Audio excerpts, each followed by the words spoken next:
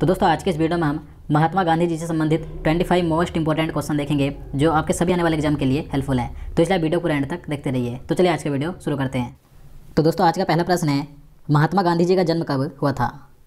तो देखिए, महात्मा गांधी जी का जन्म हुआ था दो अक्टूबर अट्ठारह को। तो इसका आंसर ऑप्शन बी हो जाएगा। देखिए, महात्मा गांधी जी का जन्म दो अक्टूबर अट्ठारह को गुजरात के पोरबंदर में हुआ था। और देखिए इनकी मृत्यु की बात करें तो गांधी जी की मृत्यु हुई थी 30 जनवरी 1948 को दिल्ली में। आप सभी जानते हैं इनकी मृत्यु का कारण क्या था? इनकी हत्या की गई थी। नाथुराम गोडसे ने गोली मारकर महात्मा गांधी जी की हत्या की थी। कहाँ पर की थी? दिल्ली में तीस जनवरी उन्नीस सौ अड़तालीस को। और देखिए गांधी जी के, गांधी जी का पूरा नाम क्या था? तो मोहनदास करमचंद्र गांधी था। और इनकी जीवन साथी यानी इनकी पत्नी का नाम था कस्तूरबा गांधी। और इनके माता पिता की बात करें तो इनकी माता का नाम था पुतलीबाई करमचंद गांधी और पिता का नाम था करमचंद गांधी। इसके बाद नेक्स्ट क्वेश्चन है, गांधी जी की हत्या कब हुई थी? तो देखिए गांधी जी की हत्या की गई थी 30 जनवरी 1948 को। तो इसका आंसर ऑप्शन सी हो जाएगा। मैंने आपको बताया था कि इनकी हत्या नाथुराम गौडसे ने की थी गोली मारकर दिल्ली में। और देखिए 30 जनवरी को इसीलिए प्रतिवर्ष शहीद दिवस मनाया जाता है। इसके बाद अगला क्वेश्चन है, दो अक्टूबर को गांधी जयंती के साथ और किसकी जयंती मनाई जाती है? तो देखिए आप सभी जानते हैं, दो अक्टूबर को गांधी जयंती मनाई जाती है, लेकिन इनके अलावा और किसकी जयंती मनाई जाती है दो अक्टूबर को?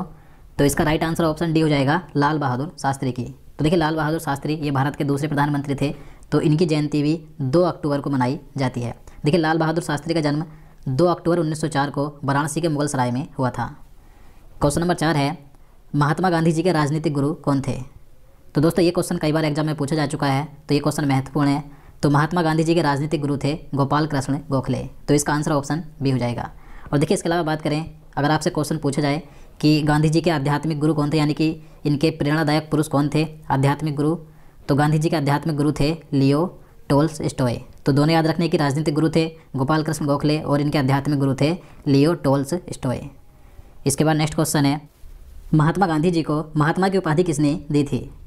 तो दोस्तों गांधी जी को ये जो महात्मा की उपाधि दी गई थी तो ये किसके द्वारा दी गई थी? किसने दी थी? तो इसका राइट आंसर ऑप्शन ए हो जाएगा रविंद्रनाथ टैगोर ने। तो देखिए गांधी जी को महात्मा की उपाधि रविंद्रनाथ टैगोर ने दी थी। अब देखिए, इसके अलावा बात करें गांधी जी को जो अन्य उपाधियाँ दी गई हैं, जहाँ से कई बार एग्ज़ाम में क्वेश्चन पूछे आते हैं।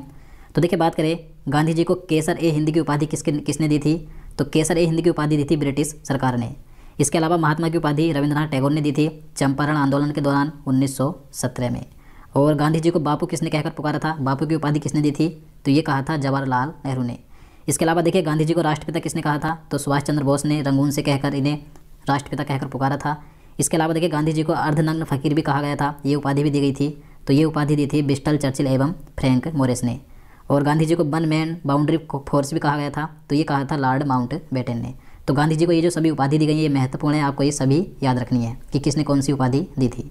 इसके बाद नेक्स्ट क्वेश्चन है, किस कारण से गांधी जी ने केसर ए हिंद की उपाधि छोड़ दी थी? तो दोस्तों गांधी जी को जो ब्रिटिश सरकार के द्वारा केसर ए हिंद की उपाधि दी गई थी तो गांधी जी ने ये उपाधि त्याग दी थी, यानी कि छोड़ दी थी। तो ये किस कारण से छोड़ी थी? तो इसका आंसर ऑप्शन ए हो जाएगा जलियावाला बाग हत्याकांड के कारण। तो देखिए 1919 में जो जलियावाला बाग हत्याकांड हुआ था तो इसके कारण से गांधी जी ने केसर ए हिंद की उपाधि को त्याग दिया था, यानी कि छोड़ दिया था। इसके बाद क्वेश्चन नंबर सात है गांधी जी दक्षिण अफ्रीका कब गए थे?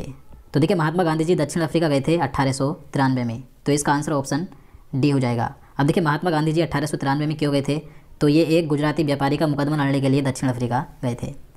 इसके बाद क्वेश्चन नंबर आठ है गांधी जी दक्षिण अफ्रीका से कब भारत वापस लौटे थे? तो देखिए, ये क्वेश्चन कई बार एग्ज़ाम में पूछा जाता है कि गांधी जी दक्षिण अफ्रीका से वापस भारत कब आए थे, कब लौटे थे?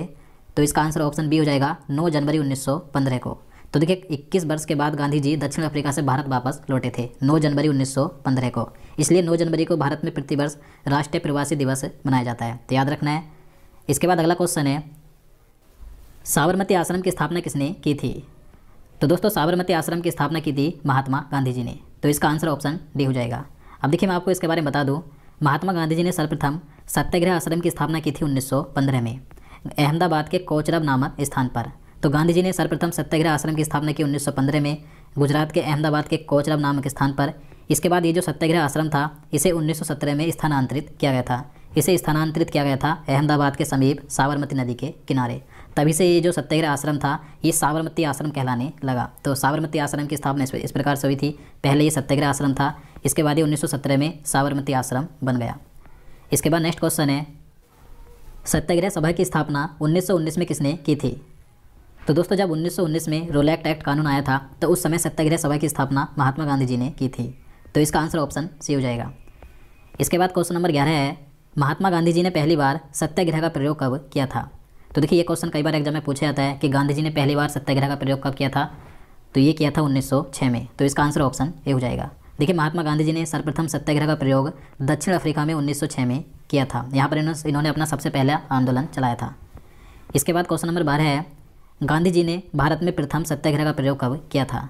अब देखिए, बात करें कि महात्मा गांधी जी ने भारत में पहली बार सत्याग्रह का प्रयोग कब किया था? पहली बार आंदोलन कब किया था? तो ये किया था 1917 में। तो इसका आंसर ऑप्शन डी हो जाएगा। गांधी जी ने 1917 में भारत में पहली बार सत्याग्रह का प्रयोग बिहार के चंपारण में किया था। 1917 में बिहार के चंपारण में जो चंपारण आंदोलन हुआ था, यहाँ पर गांधी जी ने भारत का पहला सत्याग्रह का आंदोलन किया था। अब देखिए, इसके बाद बात करें गांधी जी के द्वारा जो प्रमुख आंदोलन चलाए गए थे तो यहाँ पर सबसे पहले बात करें चंपारण सत्याग्रह की, जो कि 1917 में हुआ था। तो ये गांधी जी के द्वारा चलाया गया भारत में प्रथम आंदोलन था। तो ये आंदोलन हुआ था 1917 में बिहार के चंपारण ज़िले में। इसके बाद अहमदाबाद मजदूर आंदोलन हुआ था 1918 में। इसके बाद खेड़ा आंदोलन भी उन्नीस सौ अठारह में हुआ था, गुजरात के खेड़ा में। इसके बाद देखिए रोलैक्ट एक्ट आया था, जिसे कि काला कानून कहा जाता है तो ये उन्नीस सौ उन्नीस में हुआ था। इसके बाद गांधी जी ने असहयोग आंदोलन चलाया था, जो 1 अगस्त 1920 को शुरू हुआ था और 12 फरवरी 1922 को समाप्त हुआ था। देखिए, असहयोग आंदोलन को गांधी जी ने चोरा चोरी कांड के कारण स्थगित कर दिया था। इसके बाद गांधी जी ने सभी ने अवज्ञा आंदोलन चलाया था, जो कि 1930 से 1931 तक चला था। और इसी दौरान सभी ने अवज्ञा आंदोलन के दौरान गांधी जी ने नमक सत्याग्रह चलाया था 12 मार्च 1930 से 6 अप्रैल 1930 तक। देखिए, इस नमक सत्याग्रह में गांधी जी ने साबरमती आश्रम से डांडी गाँव तक 24 दिनों की पैदल यात्रा का मार्च निकाला था। इसके बाद गांधी जी ने एक दलित आंदोलन चलाया था जो कि 1933 में चलाया था। तो ये आंदोलन छुआछूत विरोधी आंदोलन था। इसके बाद गांधी जी ने सबसे महत्वपूर्ण आंदोलन चलाया था जो कि भारत छोड़ो आंदोलन था, जो कि भारत की स्वतंत्रता के लिए चलाया गया था। तो भारत छोड़ो आंदोलन की शुरुआत हुई थी आठ अगस्त उन्नीस सौ बयालीस को। तो इसी आंदोलन के दौरान गांधी जी ने करो या मरो का नारा भी दिया था। तो ये सही पॉइंट याद रखने महत्वपूर्ण है। इसके बाद क्वेश्चन नंबर तेरह है करो या मरो का नारा किसने दिया था? तो दोस्तों, करो या मरो का नारा महात्मा गांधी जी ने भारत छोड़ो आंदोलन के दौरान दिया था 1942 में। तो इसका आंसर ऑप्शन ए हो जाएगा। इसके बाद नेक्स्ट क्वेश्चन है, दक्षिण अफ्रीका में गांधी जी द्वारा शुरू किए गए साप्ताहिक का क्या नाम था? तो इसका राइट आंसर ऑप्शन सी हो जाएगा इंडियन ओपिनियन तो देखिए, महात्मा गांधी जी ने दक्षिण अफ्रीका में एक साप्ताहिक समाचार पत्र निकाला था, जिसका नाम था इंडियन ओपिनियन अब देखिए, इसकी बात करें इंडियन ओपिनियन महात्मा गांधी जी के द्वारा 1904 में शुरू किया गया था, जो कि दक्षिण अफ्रीका में चलाया गया था। तो ये एक समाचार पत्र था। देखिए, इसके प्रथम संपादक कौन थे? तो मनसुख लाल नज़र थे। तो याद रखना है। इसके बाद क्वेश्चन नंबर पंद्रह है, हिंद स्वराज पुस्तक के लेखक कौन है? तो देखिए, हिंद स्वराज पुस्तक के लेखक हैं महात्मा गांधी। तो इसका आंसर ऑप्शन डी हो जाएगा।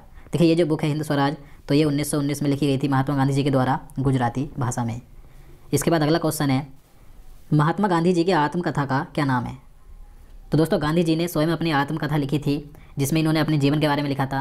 तो इनकी आत्मकथा का नाम है सत्य के प्रयोग। तो इसका आंसर ऑप्शन डी हो जाएगा। देखिए, गांधी जी ने इस सत्य के प्रयोग यानी कि अपनी आत्मकथा को गुजराती भाषा में लिखा था।